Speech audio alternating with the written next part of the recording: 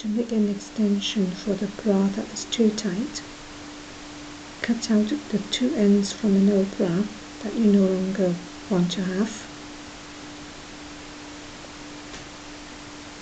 Turn one side over.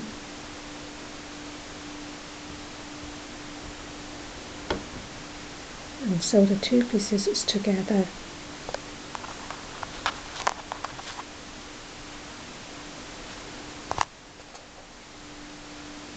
now you have an extension for tight bras